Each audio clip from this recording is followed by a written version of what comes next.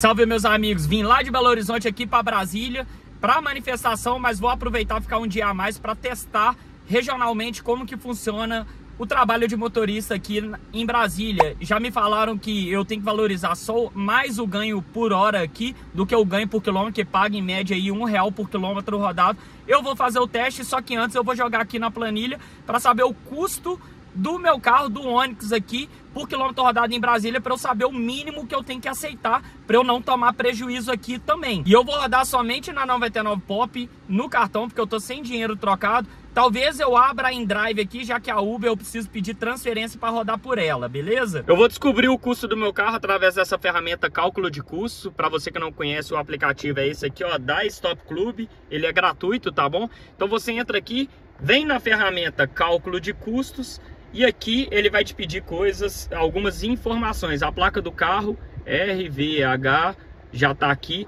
É um carro alugado de locadora e o principal combustível que eu uso é a gasolina. Então vamos dar segmento. Esses valores aqui de início, como eu quero saber só o custo do meu carro, eu vou jogar qualquer valor aqui, só para que ele vai dar outras métricas, mas vamos usar um, uns, as métricas que eu uso normalmente faturar 2.500 na semana, trabalhando 5 dias com 2 de folga, rodando cerca de 10 horas por dia e eu rodo aí 250 quilômetros por dia. O valor da, da minha locadora é 600 reais por semana que está custando esse Onix aqui. Eu já fiz as contas, lá pede por mês. Então eu peguei 600, dividi por 7, eu tenho o valor do dia que está aqui em cima. Então eu multipliquei por 30. Então 2.571 e 43 que eu vou jogar aqui. 2.000 571 e 43, esse é o custo do meu carro por mês, sacou? Peguei o valor da semana, dividi por 7, multipliquei por 30. Esse é o tanto que eu rodei de Belo Horizonte até Brasília, mais algum trajeto aqui em Brasília e o carro tá marcando aí 16.2 km por litro. Nós vamos jogar ali no aplicativo para saber o custo do quilômetro rodado aqui do Onix. Então já vou até zerar aqui pra gente começar a nossa jornada e bora. Aqui a gasolina tá mais ou menos 5,69, eu ainda não abasteci, mas eu já vi alguns postos com isso, mas depois a gente adapta essa conta no fim da rodagem. E o carro com trajeto de estrada tá dando 16,2 km por litro. Quando a gente finalizar, a gente descobre também, vamos finalizar para saber o custo por quilômetro rodado do carro. Gerou o custo aqui, esses dados aqui são das outras informações, mas o que tá me interessando aqui é esse aqui, ó. Eu não posso pegar corrida abaixo de 0,83 centavos por km rodado, senão eu tomo prejuízo. Aqui esses outros dados que tem aqui acima seriam com base quanto que eu quero ganhar na semana e tudo mais, então não, não interessa tanto para a gente por enquanto. Mas para eu atingir as metas, eu tenho que pegar sempre 0,83, senão a corrida me dá prejuízo. Vamos descobrir na prática aqui agora se eu consigo fazer isso. Eu tô tipo numa região metropolitana de Brasília, vou ficar online aqui na 99 Pop, agora são 14h53, o horário é ruim, mas infelizmente eu tive muitos afazeres, edição de vídeo, coisa para poder postar para vocês. Eu queria ter saído 6 horas da manhã, só que estou conseguindo ficar online agora. Vamos ver como que funciona, se vai tocar e tal. Mas eu tô mais ou menos a uns 20 quilômetros do Planalto de Brasília. Vamos por assim, só para vocês terem uma noção. E agora vou aguardar a corrida e vamos ver como vai ser. Ar-condicionado ligado 100% do tempo. Tô com a primeira corridinha, eu vou fazer. Só pra gente ir saindo daqui e testando. Mas vamos ver aqui qual que é a situação dessa corrida aqui, porque eu aceitei porque eu ia fazer qualquer uma que tocasse. Nossa senhora! De fato, é, o ganho para KM tá mostrando aqui 1,88, mas é uma corrida de R$ reais, 13 minutos. É ruim isso aqui, tá? Olha o ganho por hora aí, ó. Isso, nossa, isso aqui eu jamais faria em BH. Mas eu vou fazer porque não tá tocando nada e eu quero testar. Depois eu começo a fazer as corridas que eu acho que vale a pena. E ela tá pagando mais do que meu custo, pelo menos. Primeira corridinha tranquila. 13 reais na conta. Que ele mandou. Sobrou 8 e 46 pra mim. Vamos lá, né? Eu acho que eu tenho que sair dessa região aqui, não toca. Vou colocar um direcionamento, não faço ideia pra onde. Eu acho que eu vou jogar algo... Se eu tô aqui, Vou jogar algo pra cá. Deixa eu ver. VIP Mall. Esse vai ser meu direcionamento. VIP Mall, vamos ver. E aí, será que eu acertei? Vocês de Brasília, vocês não me criticam não, que eu não sei rodar aqui não, hein? Na verdade, eu vou trocar esse destino e vou colocar o plenário. Vou colocar esse aqui plenário. Pelo menos é um lugar que eu conheço e eu acho que lá é uma área boa. Apelei para InDrive, peguei uma corrida aqui, tem um chato aqui me ligando. E eu vou pra esse lugar aqui, que eu não sei onde é. Ela paga 37 reais. Eu não sei o que que eu tô fazendo não, vambora. Comecei bem. A corrida da InDrive, o cara simplesmente pediu trocado. Cheguei no ponto e o cara tava no ponto que eu ia levar ele. É pra cair o cu da bunda, né? Rodando aqui igual um bobão mesmo. Que raiva. Drive é complicado, cara. Ainda mais você conhecer a cidade sem saber de nada. A 99 Pop já liguei até dinheiro, não toca. Tocou uma corridinha e não tocou mais. Tô geralmente preocupado. Olha a corrida que eu acabei de fazer eu rodei 9.5 km para ganhar 11,55.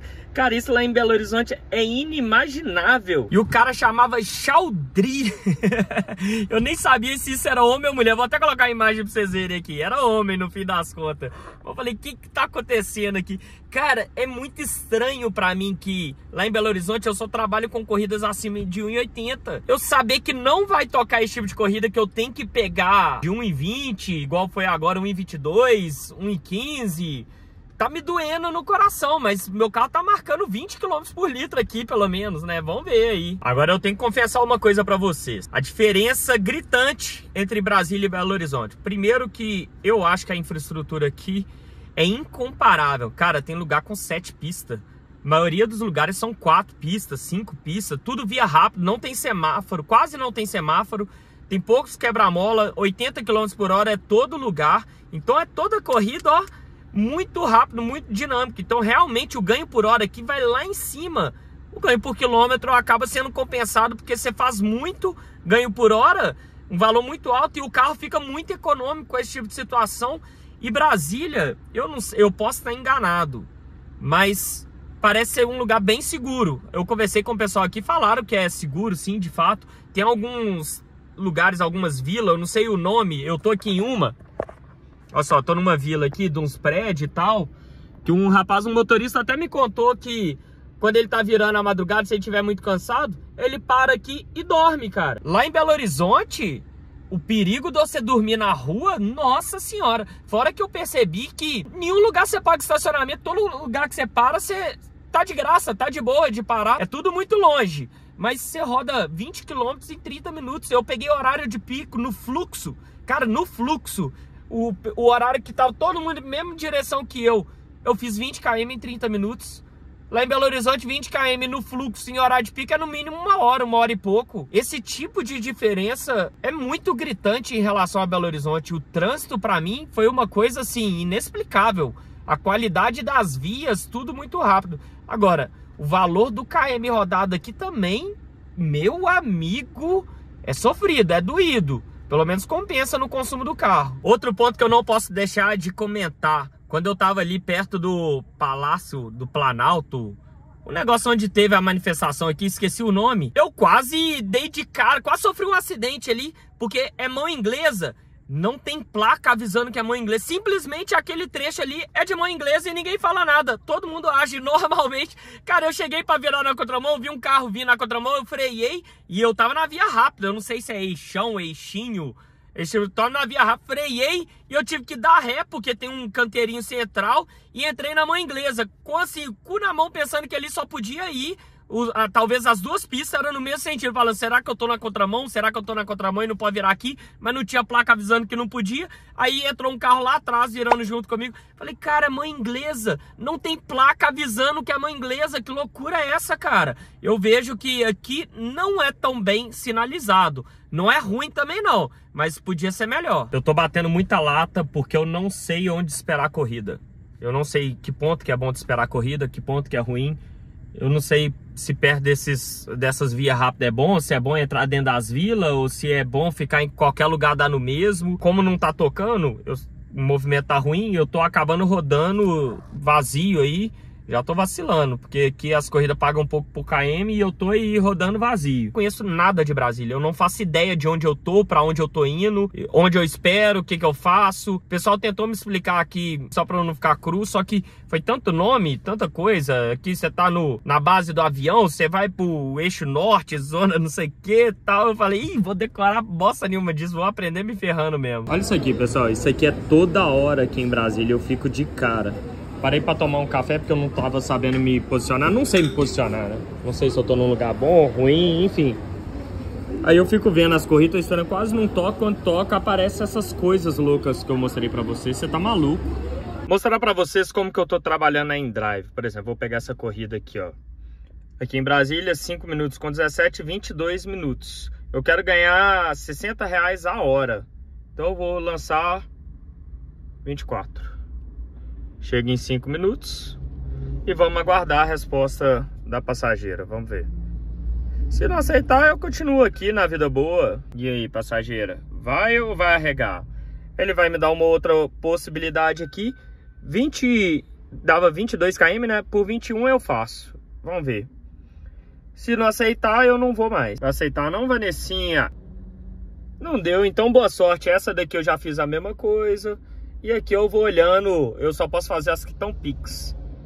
Aí aqui eu vou olhando e vou tentando, né? Pessoal de Brasília, eu sinto muito por ter fracassado na missão de rodar aqui. Mas eu não consigo lidar com isso aqui, cara. Não consigo, não sei rodar. Tô parando em vários lugares que eu acho que eu sei parar e não toca. Não sei se é porque a Uber que é forte aqui e eu tô só de 99. Tentei jogar em drive, aí eu boto os valores maiores, como eu faço lá em Belo Horizonte. Se pegar, bom. Se não pegar, problema deles. Ninguém pegou minhas corridas. Nós estamos falando de 11 quilômetros para ganhar 9,40. 17 minutos para ganhar 9,40, cara. Deixa aí nos comentários você de Brasília onde eu tô errando, o que que tá acontecendo, mas eu de fato tô desistindo de rodar. Eu tô mais ou menos enrolado aqui. Eu não sei onde eu tô mas eu sei que eu tô muito longe, eu não deveria estar aqui. Sei que não toca, cara. Já tem 20 minutos que eu tô aqui. Eu vou tentar abrir a InDrive para ver se eu volto. Olha só, eu coloquei o endereço do hotel. Eu tô a 50 km do hotel. Se eu for na lata, eu vou chegar 9 horas do hotel e amanhã eu saio 6 horas da manhã para BH. Por aqui encerramos 73 km, 15.6 km por litro que esse carro deu. Vai melhorar agora na lata, né? Que é só BR direto. E fizemos 85 reais, é praticamente um por um. Minha experiência com rodar em Brasília não foi tão boa, pelos motivos que eu falei aí atrás. Eu não conheço a cidade, não tô sabendo trabalhar, eu preciso de um pouco mais de tempo para conhecer. E rodar só na pop aqui é bravo. Pessoal de Brasília, depois me dê instrução melhor, que um dia eu pretendo voltar e preciso saber o que fazer para rodar, mas aí eu vou pedir transferência da minha conta da Uber. Uma coisa que eu posso falar que eu percebi é que Brasília não é igual BH no sentido de que dependendo de onde que você cai, não tem corrida de volta. Você tem que bater sempre uma lata, o carro te dá margem porque ele fica muito econômico. Agora só de eu estar tá voltando em direção a um destino para conseguir corrida, para ver se eu volto pro hotel pelo menos com alguma corrida, eu, meu carro já está marcando aqui 17,5 km por litro e vai aumentar, porque ele está aumentando o tempo todo. Então te dá margem para você bater essa lá. Muita gente fica julgando, ah, o povo aí ganha muito por KM, muito pouco por KM, etc. Paga-se pouco por KM, mas o carro te dá margem para poder rodar esse pouco a mais porque tem lugar que não vai tocar, então você tem que bater lata para ir para outro lugar. Tem os pontos chaves, né, para você trabalhar. Eu meio que entendi como que funciona, só que como eu não conheço tão bem ainda a cidade, eu não consigo ser efetivo nisso. Eu acho que com experiência aqui dá para trabalhar bem, rodar bem, ganhar bem. Cidade muito boa, tive uma impressão muito boa, a galera muito receptiva, muita gente boa, cara. Nossa, gostei demais daqui. Bem diferente aqui, a estrutura é muito boa. Quero voltar com mais tempo para poder trabalhar mais e experimentar de verdade o que é trabalhar em Brasília. Tive uma boa impressão, só não consegui fazer um bom resultado, né? Faz parte, vida que segue, quem sabe numa próxima eu tenho um resultado melhor. Olha que coisa de louco, rodei um pouco mais de 100 km, esse carro tá marcando 18.1 km por litro. Eu acredito que esse carro faça a média aqui para quem roda todo dia, no dia a dia assim, isso com ar ligado, hein? Ele deve bater uns 18, 19 tranquilo. Essa foi a minha experiência, fiz pouca grana, fiz quase nada mas muitas, muito tempo online, ficou um pouco mais de um real por km, isso pouco importa, né? Então, é isso, é nóis.